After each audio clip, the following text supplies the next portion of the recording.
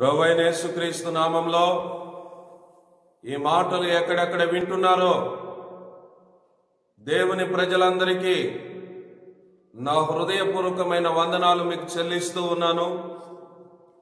ప్రియా సహోదరి సహోదరులారా ఈ దినము కూడా పరిశుద్ధ గ్రంథంలో వాక్యాన్ని మనం ధ్యానం చేసుకోబోతూ ఉన్నాము. ఒక చిన్న ప్రార్థన చేసుకొని దేవుని యొక్క వాక్యం మనం విందాము. ప్రార్థన. మహాపరిశుద్ధుడు అయిన తండ్రి ఏసయ్య మీ ఘనమైన బలమైన నామానికి వేల వేల వందనాలు కృతజ్ఞతాస్తుతులు స్తోత్రాలు మీకు చెల్లిస్తున్నాను తండ్రి. దేవా ఈ చక్కటి సమయంలో మీరు నాతో మా అందరితో మాట్లాడి మరింతగా బలపరిచి మీకు దగ్గర కావటానికి కృప చూపెట్టమని దుష్ట కార్యాలు లయపరిచి ప్రజలలో దేవుని కార్యాలు బలముగా జరుగునట్లు మీకే మహిమ చెల్లిస్తూ ఏసయ్య గణనామంలో దీన మనసుతో ప్రార్థించి వేడుకుంటున్నాం పరలోకం తండ్రి. ఆమె బైబిల్లో మనం ఒక వాక్యాన్ని చదివినట్లయితే వాక్యం ఈ విధంగా. ఈ రోజున దేవుడు మనకు సిద్ధపాటు చేసిన ఆ మాట బైబిల్లో మతై సువార్త ఏడవ అధ్యాయము ఏడో వచనంలో కానీ చదివినట్లయితే దేవుని యొక్క వాక్యములో ఈ రీతిగా రాయబడి ఉన్నది. ఆ మాట నేను చదువుతాను. మీరందరూ కూడా చక్కగా ఆలకించండి. అడుగుడి మీకు ఇయ్యబడును వెదకుడి మీకు దొరుకును తట్టుడి మీకు తీయబడును అడుగు ప్రతివాడు పొందును వెదుకువానికి దొరుకును తట్టువానికి తీయబడును అన్నటువంటి మాటలు ఈ స్థలంలో మనకు కనిపిస్తూ ఉన్నాయి. నా ప్రియమైనటువంటి దేవుని ప్రజలారా ఈ ఏడో అధ్యాయంలో కూడా ఏసయ్య కొండ మీదకి వెళ్ళి ఆయన ప్రజలకు ఉపదేశం చేస్తూ ఉన్నాడు. ఆయన శిష్యులు కూడా ఆయనతో ఉన్నారు. ఈ కొండ ప్రసంగము ఐదో అధ్యాయము ప్రారంభము నుంచి కూడా మనం చూస్తే ఈ ఏడో అధ్యాయం వరకు కూడా కొండ ప్రార్థనలు కనిపిస్తాయి. ఆ కొండ మీద ప్రభు ఉపదేశం చేస్తూ మీరు అడగండి మీకు ఇయ్యబడును మీరు వెతకండి మీకు దొరుకుతుంది మీరు తట్టండి మీకు తెరవబడుతుంది అన్నటువంటి మాటలు ఆ ప్రజలతో మాట్లాడుతున్నట్లుగా పరిశుద్ధ గ్రంథంలో మనం చూస్తాం.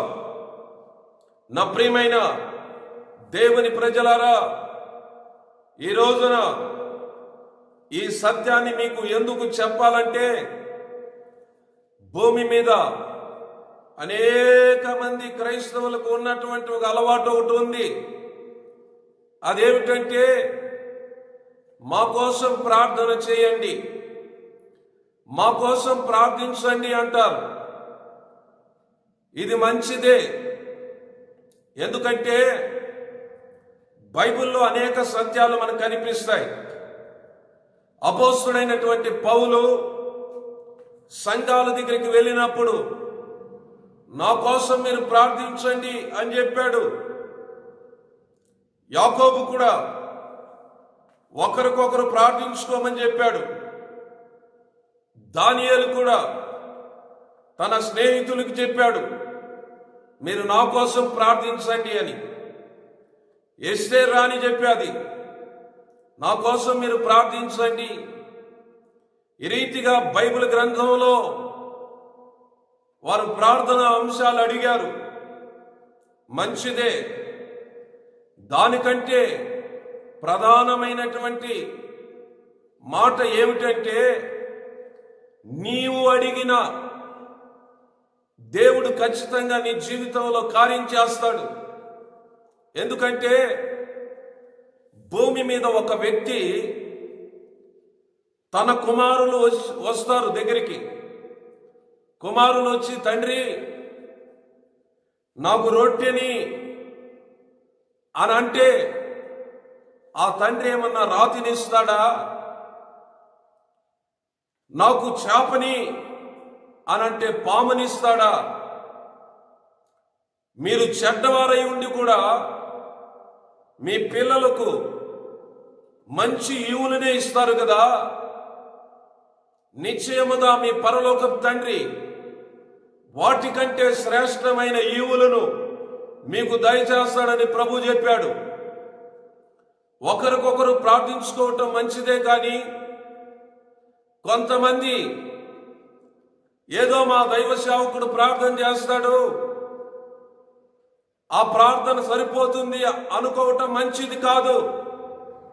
మనం కూడా దేవునికి ప్రార్థన చేసినప్పుడు నిశ్చయముగా దేవుడు ఖచ్చితంగా నీ జీవిత వ్యవస్థలో ఆయన కార్యం చేసి చూపించగలుగుతాడు. నీవు ప్రార్థించిన నీ ప్రార్థన దేవుడు అంగీకరిస్తాడు. నువ్వు ఎదురు చూస్తున్నా దేవుని అడుగుతున్నా వాటిని ఖచ్చితంగా నీవు పొందుకుంటావు. నీవు పొందుకునేంత వరకు కూడా దేవుని అడుగుతూనే ఉండాలి. బైబిల్ గ్రంథంలో ప్రభుయే చెప్పాడు నాకు మొరపెట్టు నీకు ఉత్తరం ఇస్తాను నువ్వు గ్రహించలేని గూఢమైన సంగతులను నీకు తెలియపరుస్తానని దేవుడే చెప్పినటువంటి మాటలు ఇరిమియా గ్రంథములో మనం చూస్తాం. నా ప్రియమైనటువంటి దేవుని ప్రజలారా ఆలోచన చేయండి. ఒక రెండు సంభవాలు చెప్పి నేను ఈ కార్యక్రమాన్ని ముగిస్తా. అదేమిటంటే పరిశుద్ధ గ్రంథములో కాలేబు మనకు కనిపిస్తాడు. ఆ కాలేబు మరి యహోస్వ గ్రంథములో మనం చూస్తాం యహోస్వ జీవించిన కాలములో ఈ కాలేబు కూడా ఉన్నాడు. ఈయన యోధా గోత్రానికి సంబంధించినటువంటి వాడు.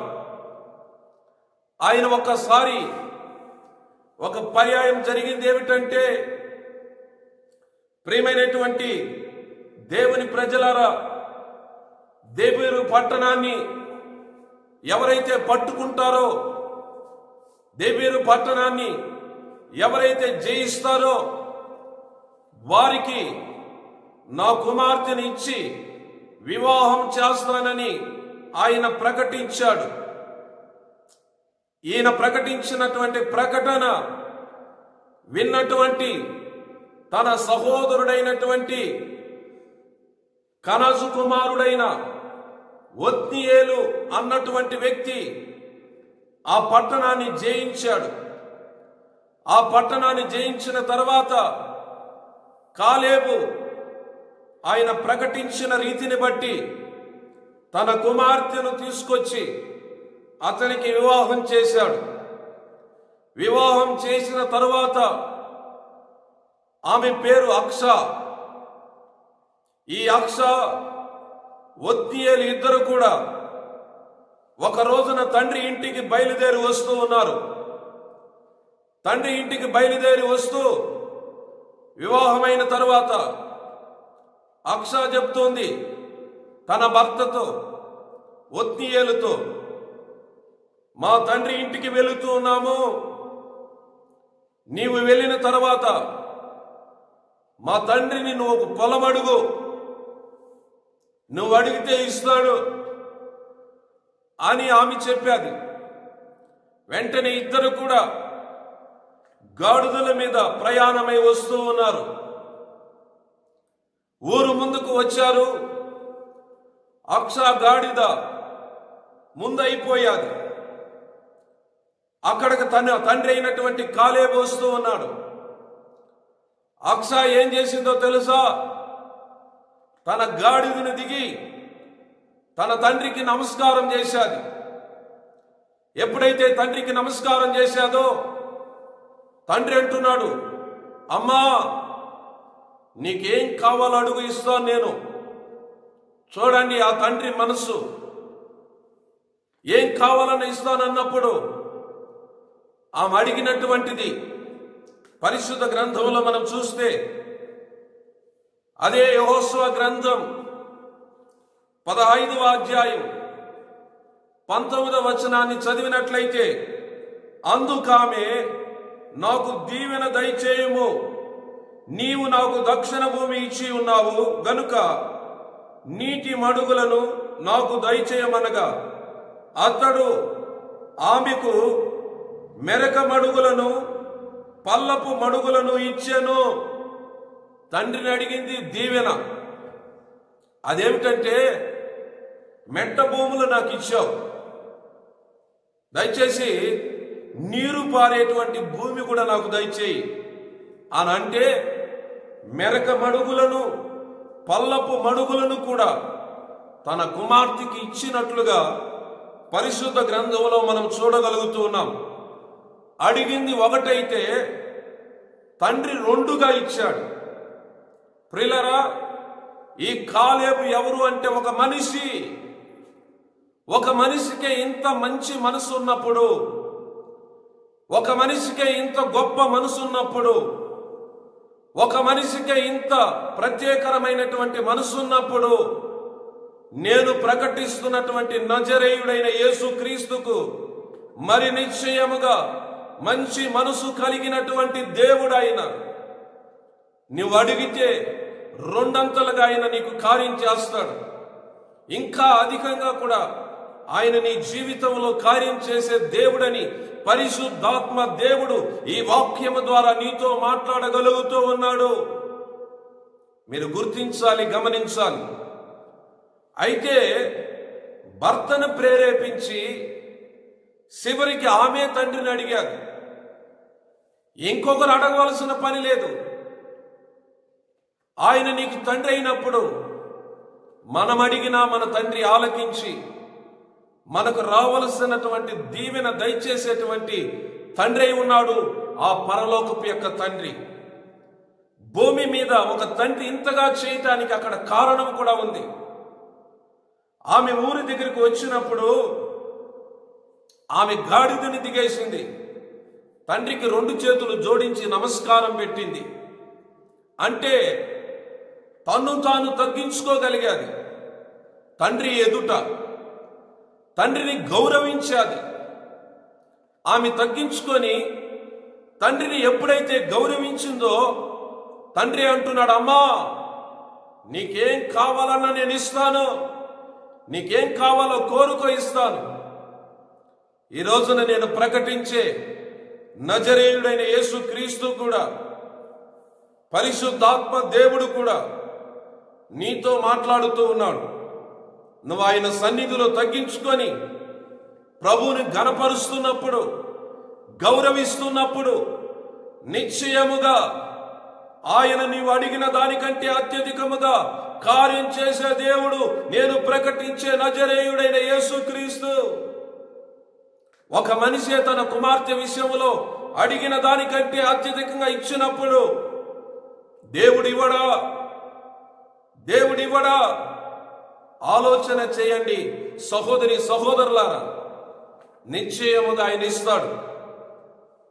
పరిశుద్ధ గ్రంథంలో మరొక సంభవాన్ని మనం చూసినప్పుడు దేవుని యొక్క వాక్యంలో ఆయన కూడా యూదా గోత్రానికి సంబంధించిన వాడు.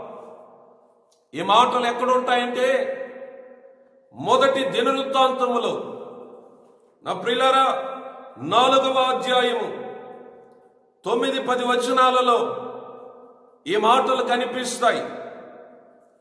ఇక్కడ ఎబ్బేజు అన్నటువంటి ఒక వ్యక్తి కనిపిస్తాడు. అతడు యూదా గోత్రానికి సంబంధించినటువంటి వాడు. తన తల్లి ఇతనిని కనేటప్పుడు ఎంతో వ్యాధనతో కనింది అని పరిశుద్ధ గ్రంథం బోధిస్తుంది అందుకొరకే అతనికి ఎబ్బేజు అని పేరు పెట్టింది. ఎబ్బేజు అనగా దుఃఖాన్ని కలిగించేవాడు లేదా వేదన కలిగించే కుమారుడు. ప్రియ సహోదరి సహోదరులారా అతనికి ఎబ్బేజ్ అని పేరు పెట్టిన తర్వాత అతడు పెరిగి పెద్దవాడై ఇస్రాయేలు దేవుడైనటువంటి యహోవ సన్నిధిలో ఆయన ఒక ప్రార్థన చేశాడు. దేవుని అడిగాడు. ఆయన అడిగింది ఏమిటంటే నా దేవుడైనటువంటి యహోవా ఇదిగో ఈ యూదా సరిహద్దులు పెరగాలి. నా మీదకి కీడు రాకూడదు. నాకు తోడుగా ఉండాలి. నన్ను ఆశీర్వదించాలి. అని నాలుగు మనవలి చేశాడు ఆయన. ఆయన చేసింది ఏమిటంటే మరొకసారి మీకు గుర్తు చేస్తాను. నీవు నాకు తోడుగా ఉండాలి నన్ను ఆశీర్వదించాలి నా మీదకు కీడు రాకూడదు నా సరిహద్దులు విశాలపరచాలి అని నాలుగు విషయాలు దేవునిని అడిగినప్పుడు ఎబ్బేజు అడిగింది. దేవుడు దయచేశానని పరిశుద్ధ గ్రంథంలో మనం చూస్తాం. ఈ రీతిగా బైబిల్ గ్రంథంలో అనేకులు అడిగి పొందుకున్నారు. నా ప్రిలరా ఇతరులు ప్రార్థన చేస్తారు. ప్రార్థన చేయటము ప్రార్థన చేయండి అని చెప్పటము మంచి పద్ధతే. దానికంటే ముందుగా క్రైస్తవులు మనము ప్రార్థన చేసిన దేవుడు అడిగిన దానికంటే అత్యధికముగా నీ జీవిత వ్యవస్థలో కార్యం చేస్తాడన్నటువంటి సత్యాన్ని ఈ రోజున మీకు గుర్తు చేయటానికి మాటల ద్వారా మిమ్మల్ని దర్శించటానికి ప్రభు ఈ అవకాశం ఇచ్చాడు. కాబట్టి ఇతరులపైన ఆధారపడి నా కోసం మా తల్లి చేస్తాది ప్రార్థన నా కోసం మా తండ్రి చేస్తాడు ప్రార్థన మా కోసం మా దైవ సేవకుడు ప్రార్థన చేస్తాడు. అన్నటువంటి చాలా మంది ఇదే భ్రమలో ఇదే ఆలోచనలో ఉండిపోయి వారికి ప్రార్థన జీవితం లేకుండా ఉంటూ ఉన్నారు. వాళ్ళు చేయటం మంచిదే. దానికంటే ముఖ్యంగా నీవు కూడా ప్రార్థన చేసుకోగలిగితే దేవుడి అడిగిన దానికంటే అత్యధికముగా కార్యాలు చేసే దేవుడని పరిశుద్ధాత్మ దేవుడు నీతో మాట్లాడుతూ ఉండగా ఈ రోజు నుంచి అడగండి. ఈ రోజు నుంచి ఆయన సన్నిధిలో మీరు తట్టండి. ఆయన సన్నిధిలో వెతకండి. ఖచ్చితంగా మీకు దొరుకుతుంది అన్నటువంటి సత్యాన్ని మీకు నేను గుర్తు చేస్తూ ఉన్నాను అయితే ఈ మాటలు వింటున్నటువంటి దేవుని ప్రజలారా ఇంకా దేని విషయంలో నీవు ప్రార్థనలు చేస్తూ ఉన్నావో ఇతరుల కంటే నీ అంతగా నీవు దేవుని దగ్గర ప్రార్థన చేస్తూ ఉన్నావో దేవుని దగ్గర మొరపెడుతున్నావో. ఖచ్చితంగా అతి త్వరలోనే దేవుడు నీ జీవితంలో అద్భుత కార్యాన్ని జరిగించి నీవు అడిగిన దానికంటే అత్యధికము కార్యాలు దేవుడు జరిగించునుగాక. ఈ విషయాలు నువ్వు వింటూ ఉండగా ఒక మంచి ప్రార్థనా పరురాలుగా ఒక మంచి ప్రార్థనా పరుడుగా నీ ఉండాలని ప్రభు పేరట ఈ మాటలు నేను మీకు మనవి చేస్తూ ఉన్నాను. దయ ఉంచి ఈ విషయాలు ఆలోచన చేసి ఆలకించి వాస్తవమే ఆయన నాకు తండ్రి. నేను కూడా అడగతా నేను కూడా ప్రార్థిస్తా నేను కూడా ఆయన దగ్గర అడిగి పొందుకుంటా అన్నటువంటి ధైర్యంతో ముందుకు సాగు. కళ్ళు మూసుకుందాం. ప్రార్థన. మహాపరిశుద్ధుడు అయిన తండ్రి జీవాధిపతి ఇంతవరకు మీరు నాతో మాతో మాట్లాడిన ప్రతి మాటలను బట్టి మీకు నా హృదయపూర్వకమైన కృతజ్ఞత స్థుతులు స్తోత్రాలు చెల్లిస్తూ ఉన్నాను. ఈ రోజు నుంచి ప్రార్థన పైన ఆధారపడి ఒక మంచి ప్రార్థనా పరుడుగా నేనుంటా. మేమందరం ఉంటాం ప్రభు దయచేసి తీర్మానాలు కలిగి ప్రార్థించండి. కృపామయుడా ఈ మాటలు విన్నటువంటి ప్రజలందరినీ కూడా పేరు పేరున మీరు దీవించి ఆశీర్వదించమని ఎక్కడెక్కడ ఏవేవి అడుగుతున్నారో?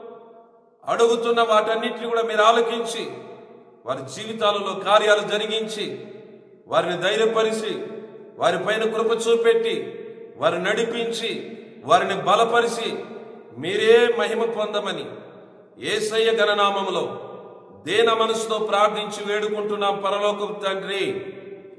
ఆమెన్. దేవుడు మిమ్మల్ని దీవించునుగాక. మరొకసారి నా హృదయపూర్వకమైన వందనాలు మీకు నేను చెల్లిస్తూ ఉన్నాను.